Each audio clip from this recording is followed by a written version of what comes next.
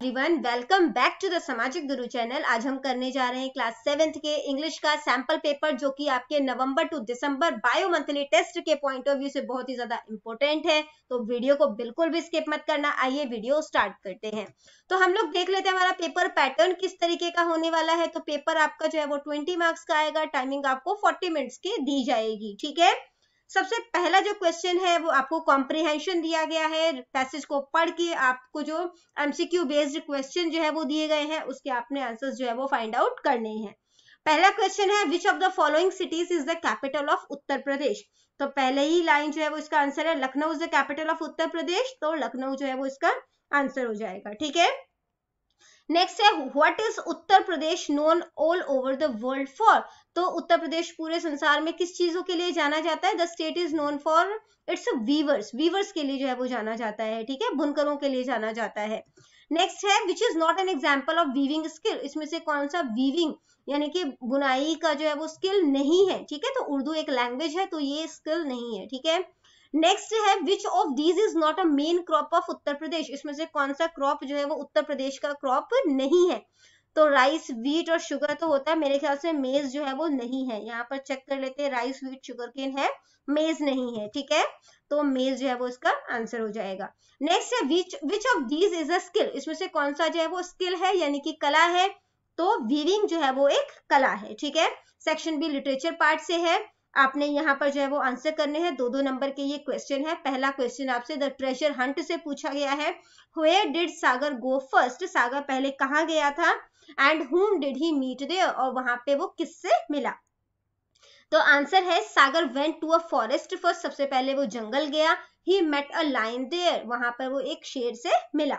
Next है why did the boy have no friends a hole in the fence से लिया गया है ये, कि लड़के का कोई भी दोस्त क्यों नहीं था? The boy had no friends because he always use a bad language in a fit of anger तो जब भी लड़के को गुस्सा आता था तो वो हमेशा अपशब्द का इस्तेमाल जो है वो करता था, जिस वजह से उसका कोई भी दोस्त नहीं था। ठीक है? नेक्स्ट क्वेश्चन जो है वो पूछा गया है आपसे give the meaning of any two of the following words in Punjabi और हिंदी तो आपको जो चार वर्ड्स दिए गए, इसमें से किसी दो के आपने पंजाबी या हिंदी में मीनिंग बताने हैं, ठीक है? तो एंशियंट का क्या मतलब होता है? प्राचीन, और उसके बाद ट्रेजर का मतलब क्या होता है? खजाना डिक्रीज का क्या मतलब होता है? डिक्रीज का मतलब होता है कमी, और डिस्कवर का क्या मतलब है? इसका मतलब है खोज करना, ठीक है? नेक्स्ट फोर्थ क्वेश्चन है ये हमारा, ठीक है? आंसर द फॉलोइंग क्वेश्चन दो नंबर का ये क्वेश्चन है. अर्थक्वेक से लिया गया है. How did the poet come to know about the earthquake तो पोएट को कैसे पता चलता है कि भूकंप जो है वो आ गया है? जो ट्रेम्बलिंग फ़ैन है, ठीक है? जो मतलब कि फ़ैन हिल रहा था, उससे पता चलता है कि अर्थक्वेक जो है वो आ गया। सेक्शन सी जो है वो ग्रामर पोर्शन है. डू एज डायरेक्टेड जैसा निर्देश दिया गया है, वैसा करें। एक एक नंबर के दो क्वेश्चन पूछे गए हैं। Rearrange the given group of words and punctuate to make meaningful sentence तो आपको ये जो है वो जम्बल्ड जो है वो वर्ड्स दिए गए हैं, इसको इस तरीके से अरेंज करना है कि इसका मीनिंगफुल सेंटेंस जो है वो बन जाए, ठीक है? तो इसका क्या बनेगा? Rajan is my best friend next है identify the type of sentence किस तरीके का ये सेंटेंस है? क्वेश्चन पूछा गया है तो ये इंटेरोगेटिव सेंटेंस है, ठीक है? Interrogative sentence